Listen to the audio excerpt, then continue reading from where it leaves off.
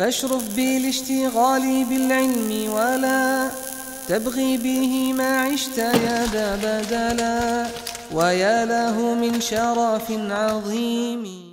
إن الحمد لله نحمده ونستعينه ونستغفره ونعوذ بالله من شرور أنفسنا ومن سيئات أعمالنا. من يهده الله فلا مضل له ومن يضلل فلا هادي له. وأشهد أن لا إله إلا الله وحده لا شريك له وأشهد أن محمدا عبده ورسوله. يا أيها الذين آمنوا اتقوا الله حق تقاته ولا تموتن إلا وأنتم مسلمون. يا أيها الناس اتقوا ربكم الذي خلقكم من نفس واحدة وخلق منها زوجها وبث منهما رجالا كثيرا ونساء واتقوا الله الذي تساءلون به والأرحام إن الله كان عليكم رقيبا. يا أيها الذين آمنوا اتقوا الله وقولوا قولا سديدا. يصلح لكم أعمالكم ويغفر لكم ذنوبكم. ومن يطع الله ورسوله فقد فاز فوزا عظيما. أما بعد فإن أصدق الحديث كتاب الله تعالى وخير الهدي هدي محمد بن عبد الله صلى الله عليه وسلم وشر الأمور محدثاتها. وكل محدثة بدعة وكل بدعة ضلالة وكل ضلالة في النار My beloved brothers and sisters The Messenger sallallahu alayhi wasallam he said in a hadith in which Imam Ahmad he narrated in his Musnad من حديث عبد الله بن عمر رضي الله تعالى عنه The Prophet sallallahu alayhi wasallam he said بعثت بين يدي الساعة بالسيف حتى يعبد الله وحده لا شريك له وجعل رزقي تحت ظل رمحي وجعل الذلة والصغار على من خالف أمري ومن تشبه بقوم فهو منهم The Messenger sallallahu alayhi wasallam that which concerns us from the hadith is the last part. The hadith has many benefits in it. But the Baytul Qasid, the point that I want to inshallah ta'ala take benefit from is the Prophet said, وَجُعِلَ الذِّلَّةُ وَالصَّغَارُ عَلَى مَنْ خَالَفَ أَمْرِي Humiliation is placed on the individual who opposes me. وَمَنْ تَشَبَّهَ بِقَوْمٍ And anyone who imitates a group of people, for verily he is from those people. And this hadith shows us one of the reasons why the Muslim Ummah are enduring and they're going through the humiliation in which they are going through. We have taken role models other than the Messenger sallallahu alaihi wasallam. Honor is in what? Following Allah and His Messenger. But what we have become is those who have taken role models, rappers, singers, actors, Rather, we have taken role models, the lowest of people, the lowest of the disbelievers. So, inshallah ta'ala, in this khutbah, I want to shut, I want to explain and I want to allow you to understand the, the seriousness of this matter. This hadith shows us that number one, humiliation doesn't leave a group of people who have opposed the Messenger sallallahu alaihi wasallam and also the harm in which it has imitating the disbelievers. It gets rid of the most powerfulest concept of La ilaha illallah, which is al-wala'i wal-bara. The Messenger sallallahu alayhi wasallam he told us, أوثق عرى الإيمان, the highest branch of Iman is الحب في الله والبغض في الله. It is to love for Allah subhanahu wa ta'ala's sake and is to also hate in the sake of Allah subhanahu wa ta'ala. So when a person imitates the disbelievers, this concept of al-wala'i wal-bara, it wears out and it goes. ولذلك if you look at the Quran and you ponder on the prophets and the messengers, the thing that you realize from each and every one of them is that this concept of al-wala'i wal-bara was present with them. Nabiullah Nuh, he said to his people, as Allah told us in the Quran, واتل عليهم نبأ نوح إذ قال لقومه يا قوم إن كان كبر عليكم مقامي وتذكيري بآيات الله فعلى الله توكلت فأجمعوا أمركم وشركاءكم ثم لا يكن أمركم عليكم غمة ثم قضوا إلي ولا تنظرون Nabiullah Nuh, he said to them, as Allah said, read unto them the story of Nuh alayhi salatu wasalam.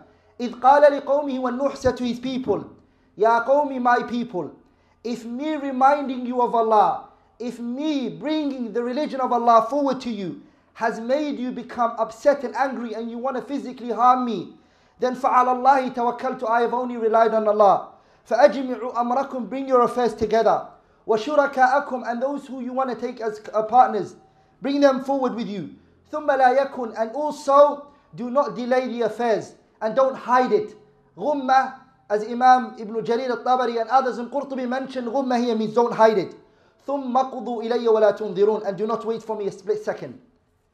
Also Allah subhanahu wa ta'ala, He says, وإذ قال إبراهيم لأبيه when Ibrahim said to his father and his people إنني براء مما تعبدون I am free from you all and I am free from what you associate partners with Allah in.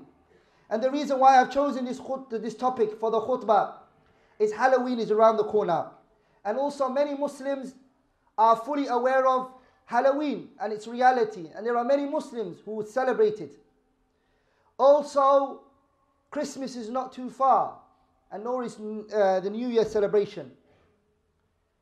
My beloved brothers and sisters, imitating the disbelievers externally will affect the person internally. ولذلك the ulama, if you look at their works, they speak about what is known as al-alaqa بين الهدي الظاهر والهدي الباطن, the relationship between the external guidance and the internal guidance. If a person, as Ibn Taymiyyah mentions in his kitab اقتضاء صراط المستقيم لمخالفة أصحاب الجحيم, he says, if a person is wearing the clothing of an army, and he comes to a place and he sees another person who's wearing the same clothes as him, automatically he will go to that individual. He finds some relationship with this individual. If you went to a place where the only person who was there was, was for example, a Somali and you're a Somali, and you went there and you saw this individual, you will automatically see yourself connecting and sitting with that individual. ولذلك when a people imitate a people, it automatically becomes a love in their heart. And this is a reality. And my beloved brothers and sisters, this topic that I am speaking about, ulama have given it, have given it importance. And they wrote books on this topic alone. I'm only going to mention five of them, inshallah ta'ala. Ibn Taymiyyah, for instance, he wrote a kitab where he called it اقتضاء صراط المستقيم لمخالفة أصحاب الجحيم. And Imam al-Dhahabi, rahimahullah, he authored a book in which he called it تشبيه الخسيس بأهل الخميس في الرد على المشركين في الرد على التشبه بالمشركين. Also, Al-Imam Ibn Hajar al-Asqalani authored a book which he called it القول الثبت في حكم صوم يوم السبت which is مفقود but some of the ulama have transmitted some information from it. الشيخ محمد بن عبد الوهاب he wrote his كتاب مسائل الجاهلية التي خالف فيها رسول الله صلى الله عليه وسلم أهل الجاهلية شيخ الإسلام أما العلامة محمد ناصر الدين الألباني when he talks about the conditions of the hijab for the woman in his kitab Jilbab al-Mar'at al-Muslima he also has a research in there where he talks about not imitating the disbelievers my beloved brothers and sisters Allah subhanahu wa ta'ala has set a path for us and he told us to follow that path Allah says in the Quran وأن هذا صراطي مستقيما فاتبعوه ولا تتبعوا السبل فتفرق بكم عن سبيله ذلكم وصاكم به لعلكم تتقون Allah has paved a path for us and He's commanded us to follow that path and not to sway away from that path. But sad enough, many people have chosen not to take that path. Allah says in another ayah, ثم جعلناك على شريعة من الأمر فاتبعها ولا تتبع أهواء الذين لا يعلمون. Allah has made for you Muhammad a legislation. Restrain yourself within that legislation. Stay with it. Stay within it. And do not follow the path of those who don't know. Allah also said to Nabiullah Musa and Harun, قد أجيبت دعوتكما Your supplication has been accepted ولا فاستقيما ولا تتبعان سبيل الذين لا يعلمون Both of you be steadfast and don't follow the path of those who don't know. So prophets were all automatically told and they were instructed to follow their guidance and to be upright and to stay away from the path of those who don't know. But sad enough, Muslims have chosen not to follow that path and they follow their path other than it. And our messenger already told us that they were going to do that. He sallallahu alayhi wasallam he said in a hadith narrated by Bukhari and Muslim in hadith Abi Sa'id al-Khudri, the Prophet said, لَتَتَّبِعَنَّ some other dabt has also come regarding that. سَنَنَ مَنْ كَانَ قَبْلَكُمْ You will follow the path of those who came before you. شِبْرًا بِشِبْرٍ وَذِرَاعًا بِذِرَاعٍ You will follow them handspan, an arm span, you will follow them. حَتَّى لَوْ دَخَلُوا جُحْرَ ضَبٍّ Even if they enter into a lizard hole, لَدَخَلْتُمُوهُ You will all enter it with them. The companions, they said, Al-Yahud wa Nasara, the Christians and the Jews. The messenger then said, Faman, who else? And Hafidh ibn Hajar, over four pages, in his Fathul Bari, he mentions this hadith with many benefits in it. I now want to, inshallah ta'ala, bring to you all some of the things that the Muslims have followed the disbeliever in. The first one is, and the Prophet has already told us, that the Muslims are going to follow the disbelievers in, which is عودة البشرية إلى الجاهلية وعبادة الأوثان. the people are going to go to worshipping idols. This is something that the Prophet told us. Bukhari and Muslim both narrated that the Messenger sallallahu alaihi wasallam said, "لا تقوم الساعة." the hour will not come حتى تضطرب أليات نساء دوس على ذي الخلصة. The Messenger sallallahu alaihi wasallam told us that the hour will not strike until the women of Daws will walk towards the direction of the idol of the people of Daws. The Khalisa was an idol that the Messenger sallallahu alaihi wasallam commanded Jarir ibn Abdullah radiallahu ta'ala anhu and many other companions. He said, Go and destroy this idol. This idol will be brought back again and the people will worship it. How will that happen? This is a question one needs to ask himself. An idol that was clearly instructed by the messenger with his companions. How can the people bring it back? And how could they worship it? And they're claiming Islam. How could this happen? It could only happen if the people, step by step, are imitating the disbelievers. It will finally come to them worshipping this idol. Rather, the Messenger sallallahu alaihi wasallam he said in a hadith Al Imam Muslim narrated in his Sahih, لا يذهب الليل والنهار. The day and the night will not go حتى تعبد اللات والعزى. Lat and Uzza will be worshipped. The people will bring those idols that are clearly instructed in the Quran, in which the Prophet destroyed, his companions destroyed. The Muslims will bring back that idol again and they're going to worship it. Again, the question is how can an idol the Prophet destroyed and his companions destroyed it? How could the people bring it back when the Atharun Nubuwah, the Prophet the thing that he left behind, his religion perishes the sunnah and tawheed goes and the people stop talking about tawheed on the pulpit. It's no longer discussed. The people will bring back Allat wal Uzza and it will be worshipped. When in Asaf al-Shadid, if you look at the waqa of the Muslims today, you can see the way that the things are going and the direction in which it's heading. The second thing, my beloved brothers and sisters, that the people have followed the disbelievers in, shibran bi shibr, wa bi is having the spirit of partisanism having asabiyyah ila qawmin or ila madhhabin or ila qabila a person has this asabiyyah, he has a spirit of party towards a particular group whether that group be a tribe a methodology whatever it may be a person has partisanism in it.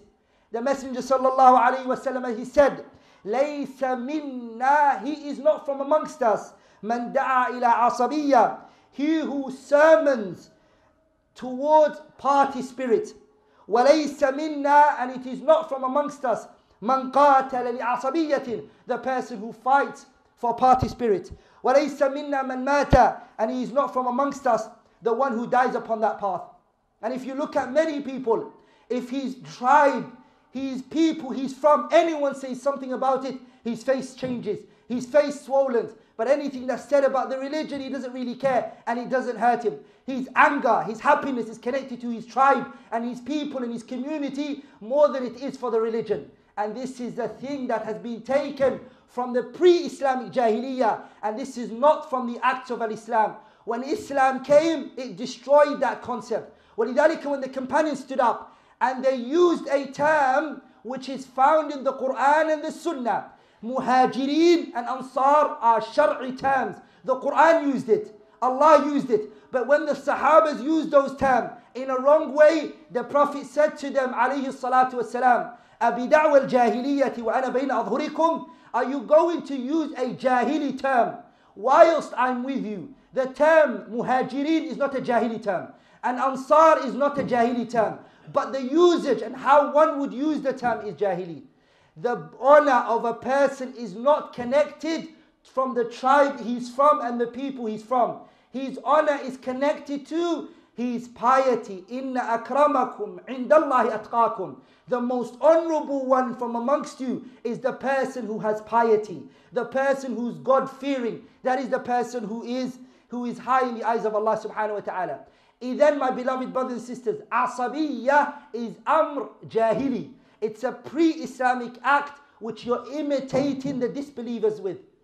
The other thing that the people are also coming with, which is from the imitating of the kuffar, is tabarruj nisa. The women coming out of their households, dressing, adorning themselves, placing makeup on their faces. This is also min amri al-jahiliyyah. Allah subhanahu wa ta'ala, He said, وَلَا تَبَرَّجْنَ تَبَرُّجَ الْجَاهِلِيَّةِ الْأُولَى Do not come out of your households, O women, and dress yourselves, and place this makeup on yourself, and the perfume, like the pre-Islamic women used to do. This has become a norm. To the extent if a person says to a sister, Sister, what you're doing here is wrong, it's muharram shar'a, you are seen as a backward person, a person who doesn't know the reality that you're living. You don't understand the 21st century? This is norms. And it's so sad that you travel to some Muslim countries and you see a Muslim woman who is an Arab who doesn't speak English, but she's imitating who? An actress who she saw on Hollywood. She's imitating Kim Kardashian. You don't even speak English. How do you know her? But that's how harsh and how, how, how problematic, problematic the issue is. The Messenger sallallahu alayhi wasallam he said, فَاتَّقُوا الدُّنْيَا Fear this dunya. وَاتَّقُوا النِّسَى And also fear the women. فَإِنَّ أَوَّلَ فِتْنَةً The first fitna that took place in this ummah um, the first fitna that took place before this ummah was the fitna of women. And this is a matter we are, t- we are test- testing it. You see in a household cousins sitting with one another. You see a brother and sister, uh, uh, sorry, two cousins who are not lawful to be sitting with each other in the way that they are. And then the consequences that are bred from it are emailed to those who are students of knowledge. Or the mashayikh are asked questions which it was so easy to prevent. How easy was it to prevent? Just distinguish between the male and the female. Place the women in one place and place the men in another place. Also, from the affairs of imitating the disbelievers, my beloved brothers and sisters, is an ihtifal. It's celebrating the festivals that are set by the non believers. Many of you may work in companies, you may work with organizations, and then they are celebrating Christmas or they're celebrating New Year's. And so what happens? You as a Muslim start to you start to adopt this from them. ولذلك Allah said in the Quran, وَالَّذِينَ لَا يَشْهَدُونَ الزُّورِ The believer, the Ibadur Rahman, are those who do not participate in الزور. جمع من السلف, a group of أئمة السلف, they said this ayah, وَالَّذِينَ لَا يَشْهَدُونَ الزُّورِ أي لا يحضرون they do not, they do not participate أعياد الكفار. They said that this ayah, وَالَّذِينَ لَا يَشْهَدُونَ الزُّورِ, it means they don't participate in the celebrations of the non-believers أقول ما تسمعون وأستغفر الله لي ولكم ولسائر المسلمين من كل ذنب فاستغفروه إنه هو الغفور الرحيم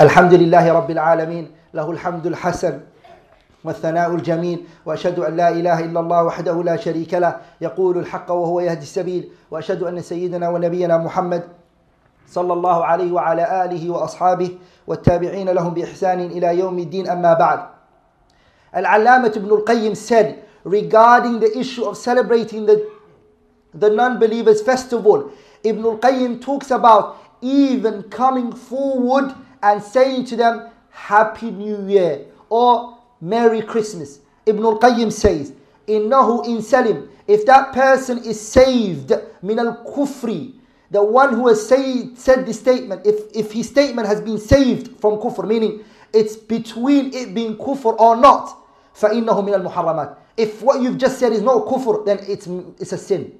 The minimum it can be, it's a sin. وَهُوَ بِمَنْزِلَةِ And he said, it's like the person who is giving glad tidings to the disbelievers بِسُجُودِهِمْ لِلصَّلِيبِ because of their prostration to the idol, you're saying you are good in, in prostrating to the idol. The one who gives glad tidings to them regarding their festivals. One of the things that we find that the Muslims are imitating the disbelievers in is the dressing and the way that the Muslim looks. The Messenger sallallahu alaihi wasallam in the hadith Al-Imam Muslim narrated in his Sahih that the Prophet sallallahu alaihi wasallam ra'a rajulun the Prophet Sulaiman who was wearing two garments with safflower. The Prophet ﷺ, he said to him, Inna hadi thiyabun, this which you're wearing right now is a garment or two garments of the garments of the disbelievers. فلا تلبسها, do not wear it. Umar ibn al-Khattab radiallahu ta'ala anhu, he sent to the Muslims who were residing in Faris, he sent a letter to them and he said to them, إياكم وزي أهل الشرك Be cautious and stay away from the clothing of the disbelievers. Bukhari narrated in his Sahih. One of the things that we also find that the Muslims do today is when it comes to the circles of knowledge and the religion is being taught, not importance is given to it, but the child is burdened into going into university and studying the religion, uh, study, studying academic studies and secular knowledge. Not that I'm saying you can't study academic knowledge, neither am I saying that you can't study uh, secular knowledge. I am not saying that in any way, form, or shape.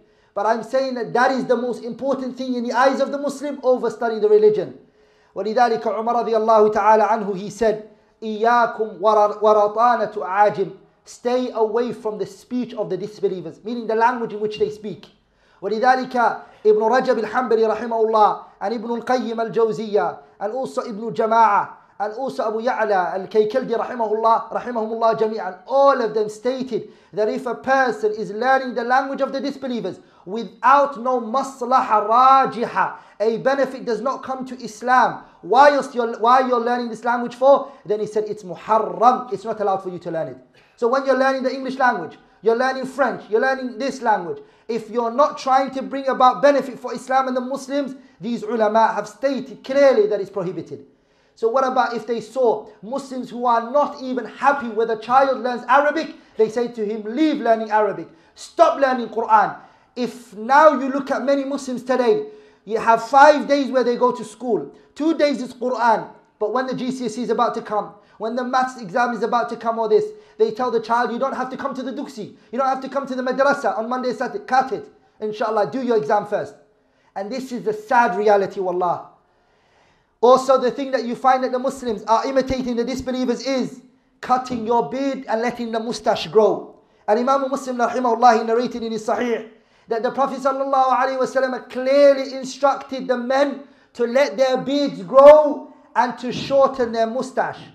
Today, if you say to a man, Ya akhi, let your beard grow, stop cutting your beard, this is something that you're imitating the disbelievers, he will become angry with you and I'm not shocked after the khutbatul jum'ah if I get grabbed by the collar and I'm said, Akhi, leave us alone. What are you talking about? And this is a reality that it's become so embarrassing for a person to even talk about. My beloved brothers and sisters, the humiliation that we are in, we will not be taken out of it unless we hold on to the path of the Messenger. I'm going to conclude with the anwa, the types that Ibn al-Qayyim, his kitab, he mentions in, it, in his kitab Sirat al-Mustaqim li mukhalafati ashab al-jahim. He mentions that imitating the disbelievers is of three types. He says something that's from their religion. It's from their religion and it is also from our religion. We find it in their religion and we also find it in our religion. Even then, we can't follow them and we can't imitate them. We will not go against them. Fi asl ibadah, the original ibadah, we will do it with them, but we will change the way that we do it. Like, for instance, Sawm Yom Ashura, the fasting of the day of Ashura, you will find it in their pre in their scripture and you find it in ours. The messenger said, La in ishtu ila qabilin. If I live next year, لَأَصُومَنَّ التَّاسِعَ I will fast on the ninth. I will fast on the tenth, which they fast on, but I will change the way I fast. I will make one day before it. The second one is something that was in their religion and our religion abrogated it. And the issue is the celebration of Saturday. Our religion changed it and it made it for us on Fridays. We're not allowed to follow them in this because our religion abrogated their one. Last but not least, the third one Ibn Taymiyyah mentioned is something that is not part of their religion. They're the ones who made it. وَرَهْبَانِيَّةً ابْتَدَعُوهَا They're the ones who added this to their religion. وَلِذَلِكَ the city of Medina, the disbelievers understood that the Prophet didn't want to follow them. The Yahud, when they heard that the messenger said, when the woman is on her menses, the Jews, what they do is they they build a hut for the woman and they tell her to stay in there. So when the Prophet heard, he said that the man is allowed to do everything with the woman except sexual intercourse. The Jews, they said, Muhammad does not want anything else except to oppose us. That's all he wants. And this was a form of belittling them by not imitating them. But the Ummah have given them strength by wanting to look like them. Allahumma اغفر لنا ذنوبنا وإسرافنا في أمرنا وثبت أقدامنا وانصرنا على القوم الكافرين اللهم اغفر لنا هزلنا وجدنا وخطأنا وعمدنا وكل ذلك عندنا يا رب العالمين. اللهم لا تجعل الدنيا أكبر همنا ولا مبلغ علمنا ولا تسلط علينا بذنوبنا من لا يخافك فينا ولا يرحمنا. رب آت نفوسنا تقواها وزكها أنت خير من زكاها أنت وليها ومولاها. ربنا آتنا في الدنيا حسنة وفي الآخرة حسنة وقنا عذاب النار وأقم الصلاة.